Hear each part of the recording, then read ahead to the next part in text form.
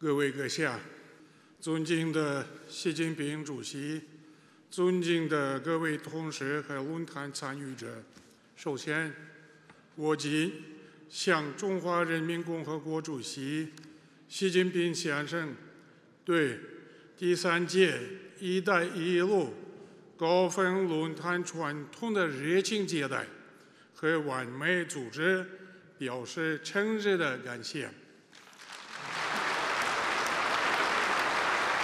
在现代地缘政治条件下，“一带一路”倡议已经成为热门国际项目和最大合作平台。该项目体现了中国的经济实力以及其在全球水平上达到新高度的愿望。该项目取得的很大的成就。对许多国家来说是有目共睹的。Уважаемые дамы и господа, уважаемый председатель Си Цзиньпин, весьма символично, что 10 лет назад именно в Казахстане вы впервые изложили далеко идущую инициативу «Один пояс, один путь», став таким образом ее главной движущей силой.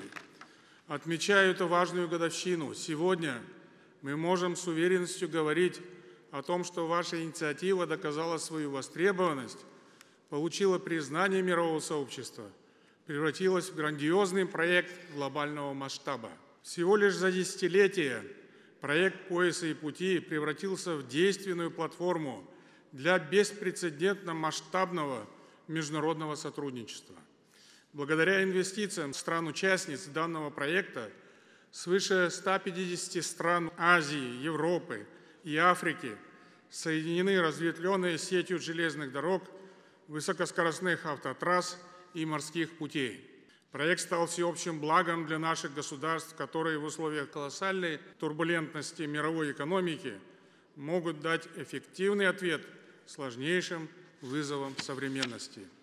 Инициатива «Один пояс, один путь» вносит неоценимый вклад в развитие культурно-гуманитарных связей, укрепление добрососедства, дружбы – и взаимопонимания между нашими странами.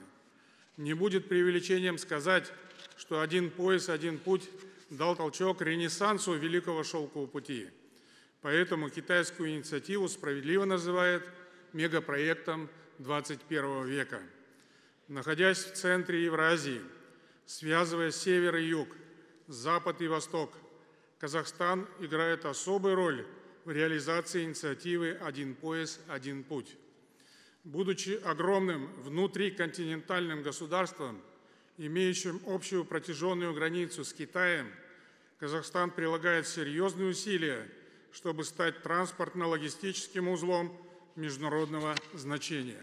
Сейчас около 85% всех наземных транзитных перевозок из Китая в Европу приходится на Казахстан.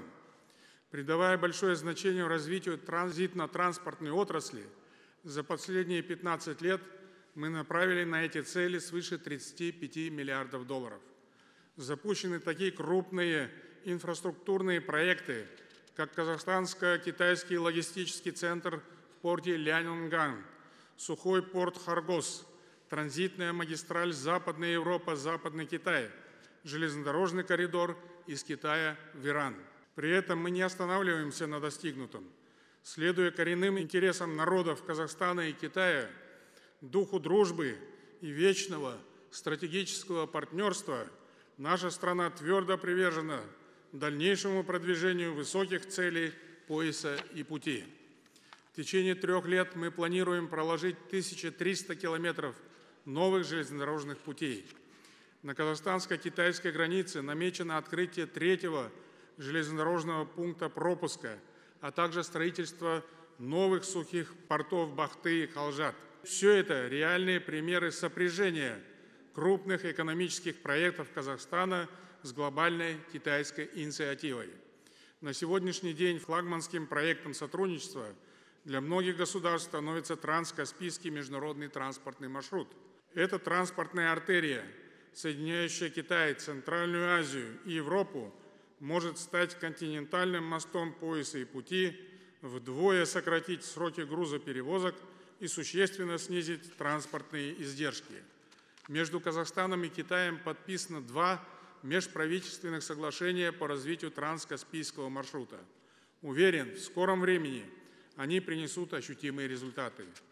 Для более эффективной координации наших усилий предлагается создать партнерскую сеть крупных стратегических портов, логистических центров и почтовых хабов. Мы также заинтересованы в налаживании совместного производства транспортных судов и контейнеров. Казахстан готов стать надежным воздушным мостом и удобной гаванью для ведущих авиакомпаний мира, обеспечивая устойчивый трафик пассажиров и грузов. Для дальнейшего роста товарооборота вдоль пояса и пути необходима активная совместная работа. Нам предстоит гармонизировать тарифную политику, создавать благоприятные условия для инвестиционного сотрудничества. Большие возможности открывает партнерство в рамках инициативы «Цифровой шелковый путь», являющийся, по сути, новым глобальным проектом. Уверен, построение новой модели цифрового и интеллектуального взаимодействия внесет существенный вклад в инновационное развитие наших экономик. В новом десятилетии инициативы «Один пояс и один путь» Казахстан продолжит всецело содействовать достижению общего успеха. Убежден, под вашим руководством, уважаемый председатель Си Цзиньпин, Китай добьется еще более грандиозных успехов в созидании новой эпохи Китая на основе концепции общности исторических судеб различных народов. Благодарю вас за внимание.